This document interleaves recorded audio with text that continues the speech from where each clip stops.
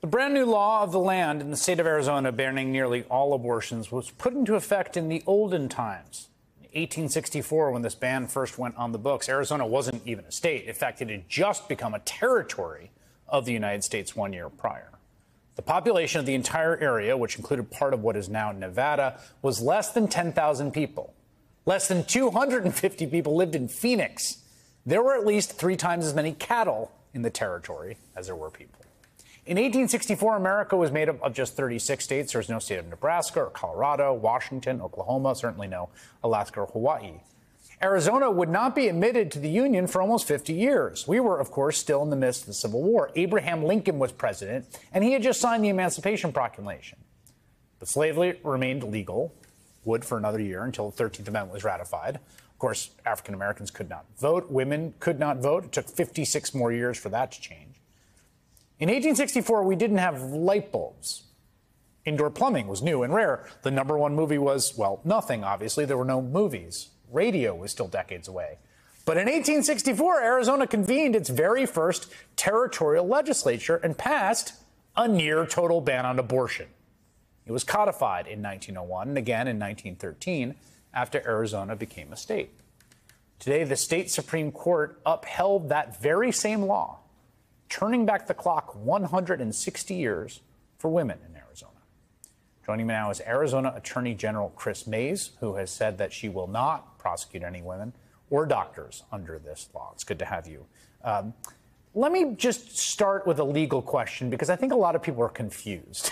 like, how is it possible to unfreeze uh, a law from 1864 and have it be the law of the land. What was the question before the Supreme Court, and what position did your office take?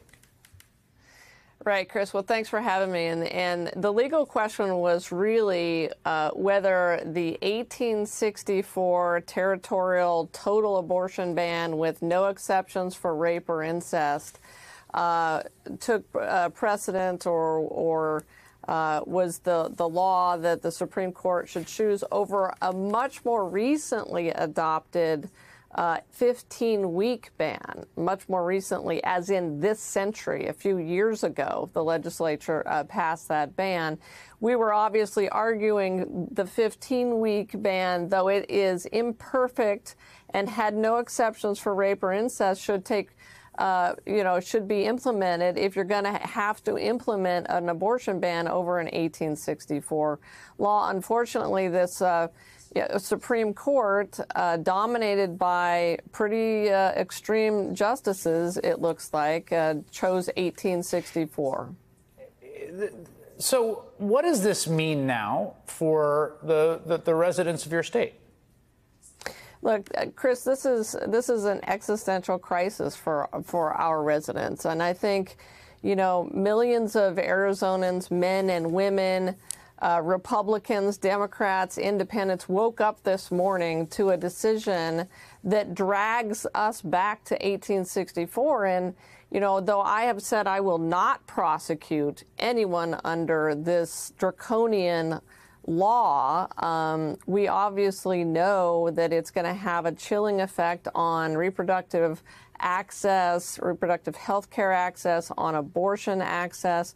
And, you know, I've already had attorneys general from uh, other states reach out to me to offer their help and uh, had the vice president of the United States reach out to me today to offer her help. Um, this is a this is a crisis for our state, and we it, it's it's chaotic to be honest with you. But we're going to continue to fight this decision by the Supreme Court. We're going to do everything that I can as AG, and not everything is on the table.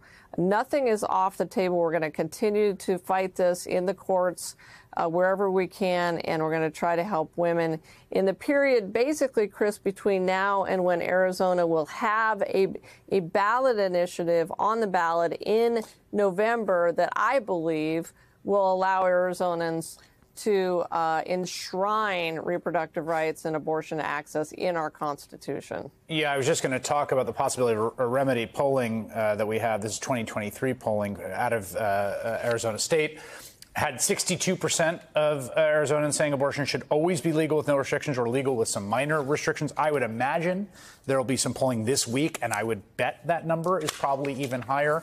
There is going to be a ballot initiative in the state, and, and would that that would override this decision, right? It would is it a state constitutional amendment?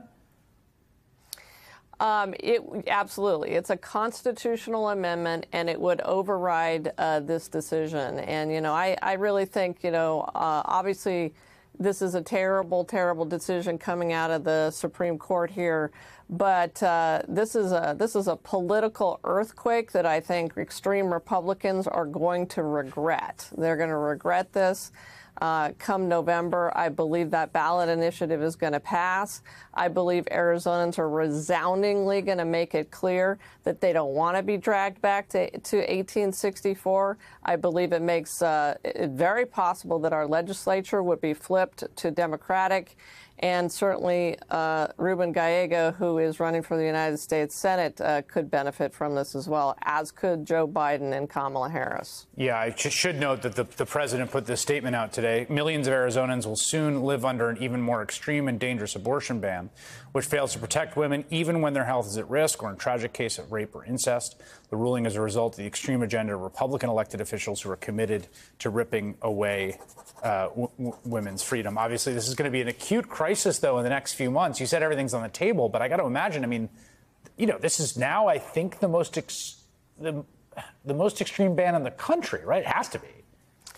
I think it, it probably is, Chris, and that's why you know I'm going to be in communication with uh, my colleagues, my AG colleagues around Arizona, California, New Mexico, Colorado, Nevada to see what we can do with our partner states to help women who probably are going to have to flee um, Arizona uh, in in the next few months. There'll be about a, a 45 to 60 days uh, stay in this decision, we believe, due to another court case.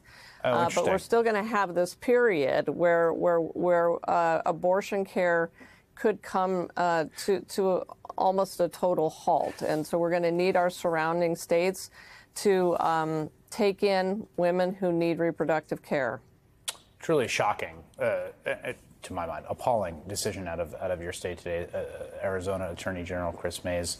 Uh, thank you so much for spending some time with us tonight.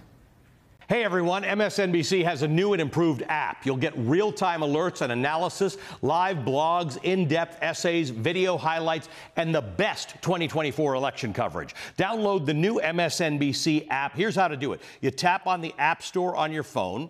You hit search on the bottom right corner. You type in MSNBC. You click on the MSNBC app. You click on Get or the cloud icon and enjoy it.